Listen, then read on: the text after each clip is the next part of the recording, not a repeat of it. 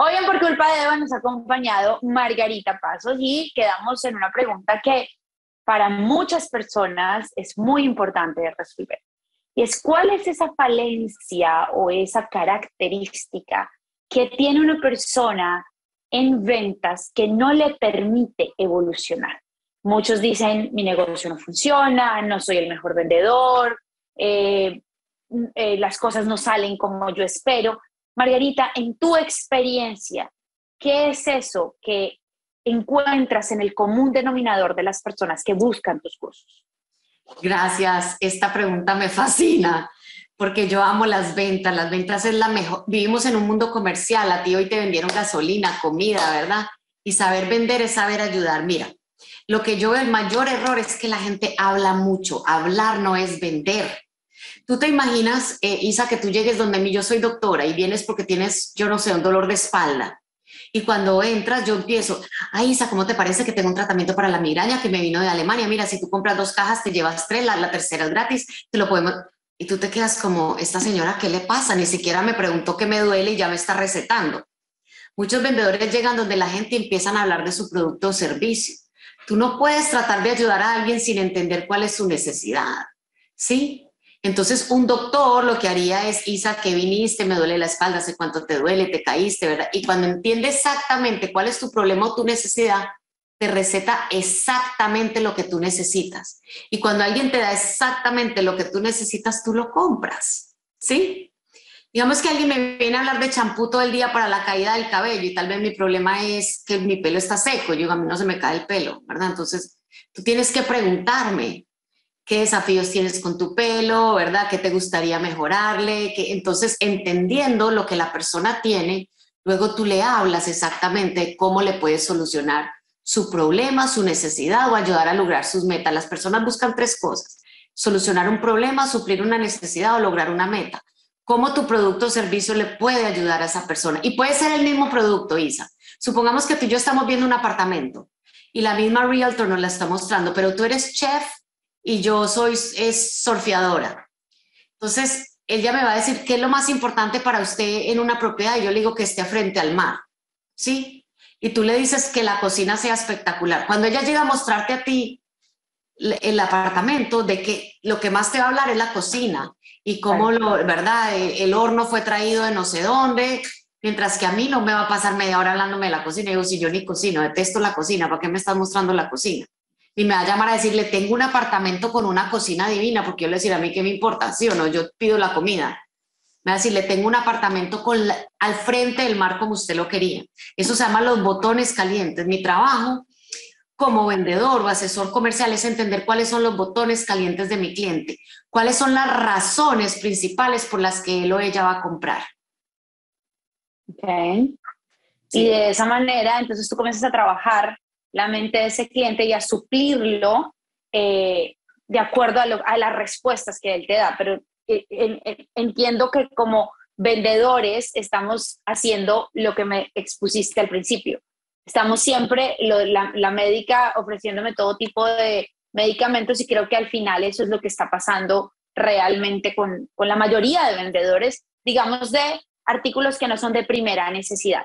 Aparte del tema de las ventas, en el campo emocional, ¿qué emociones son las que más se interponen entre una persona que es exitosa y una persona que no lo es. No importa qué tanto trabajen, es muy importante ver eso, porque hay muchas veces que la gente dice, no, pero es que yo trabajo lo mismo que este, pero a mí me va terrible.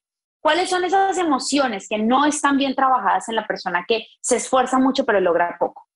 Mira, cualquier emoción que esté desbordada, cualquiera, no importa si es la rabia, si es la ansiedad, si es el pánico, si es el miedo, si es la tristeza, si tú no la sabes regular, mira, yo tengo un mentor que dice, la única emoción que cabe en los negocios es la emoción de celebración.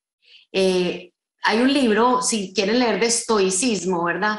Los estoicos siempre están hablando de cómo calmar tu mente. Andrew Carnegie, que fue el hombre más rico del mundo hace como 90 años, hizo un estudio que hoy se conoce como el Triángulo de Carnegie, donde se, se demostró que el 85% del éxito de una persona viene de su inteligencia emocional. Te doy un ejemplo. un cliente mío, yo tengo un cliente grande y el cliente me cancela hoy y ese cliente es el 40% y me dice, ya conseguí otro proveedor. Yo puedo entrar en pánico, pelearme con mis vendedores, mi mejor vendedor renuncia porque yo le dije de todo, ¿verdad?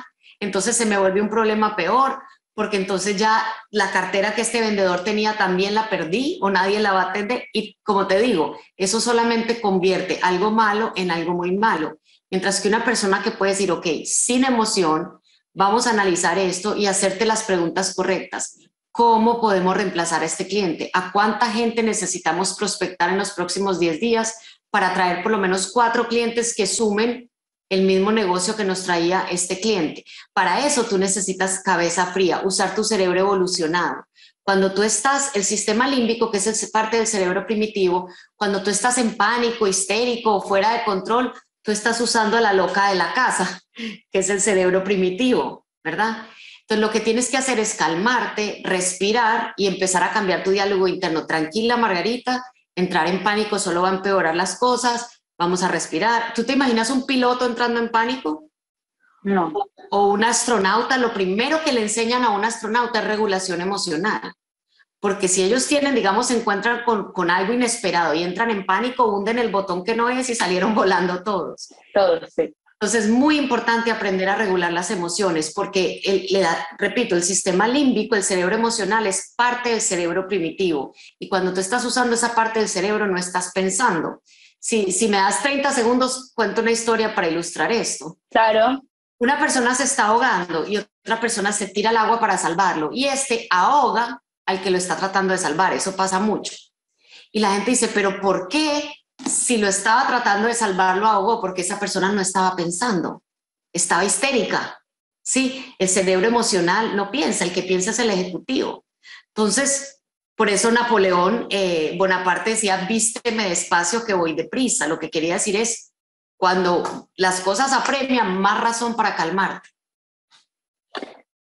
Y es la verdad, porque eh, muchas veces le damos mucha fuerza a querer lograr cosas en la vida, pero no nos detenemos a mirar nuestras emociones, nuestra mente. Y como tú dices, yo creo que hoy muchas personas se sintieron identificadas, incluyéndome a mí.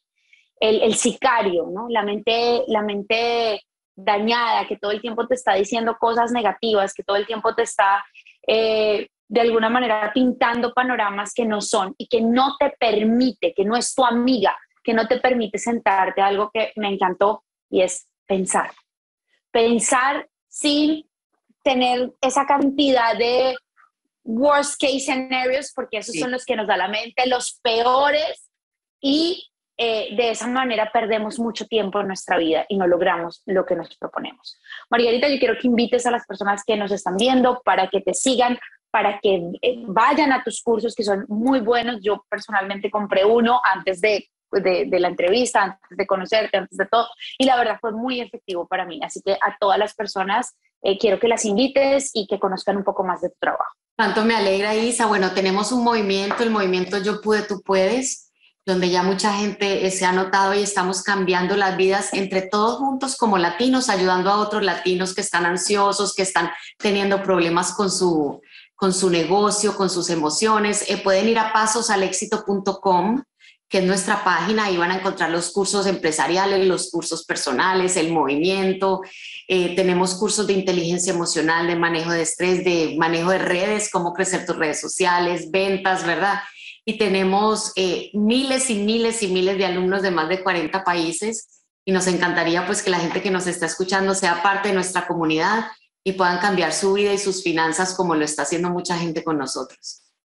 Margarita, muchísimas gracias. Gracias por haber estado con Eva. Antes de irte, nosotros siempre tenemos una pregunta y es, ¿cómo es tu Eva? Eva, ¿quién es? Eva es esa persona que no le mostramos a todo el mundo, esa con la que cantamos en la ducha, esa que no está tan expuesta. ¿Cómo es tu Eva?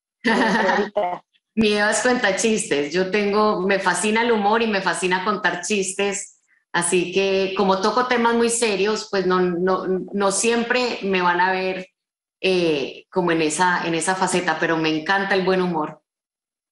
Bueno, qué lindo. Muchas gracias, Margarita, por haber estado aquí en Por Culpa de Eva y muchas gracias por eh, darnos un poquito de esa experiencia tuya para que otros nos motivemos. Gracias a ti, Isa. Un beso para todos. Hasta luego. Y a ustedes muchas gracias. Como siempre, aquí les digo, si, como dijo Margarita hoy, si tú, si ella pudo, nosotros también podemos. Con eso las dejo. Gracias. ¿Necesitas electrodomésticos? En Woodcox encuentras las mejores marcas.